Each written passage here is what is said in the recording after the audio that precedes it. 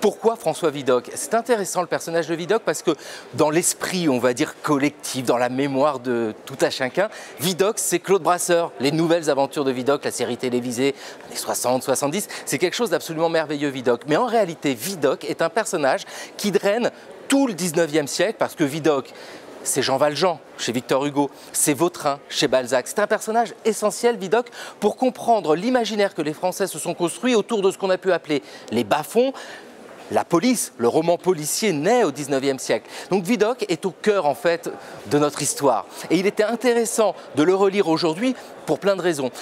Il y a déjà eu des biographies sur, euh, sur Vidocq, des biographies souvent qui laissaient la part belle à l'imagination. Et ça, on peut le mettre de côté, parce que Vidocq est un personnage qui a réellement existé, un personnage qui est né à Arras à la fin de l'Ancien Régime en 1775, qui a vécu une folle jeunesse en faisant plein de conneries, faut le dire.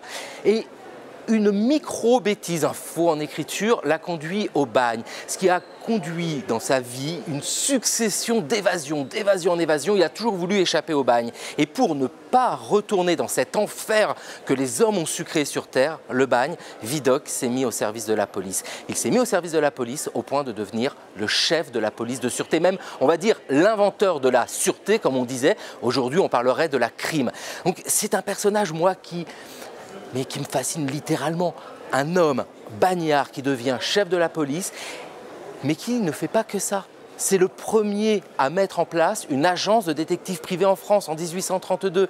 Vidocq a écrit des mémoires, il a inspiré les plus grands. Donc il était nécessaire de s'attarder sur ce personnage qu'est Vidocq.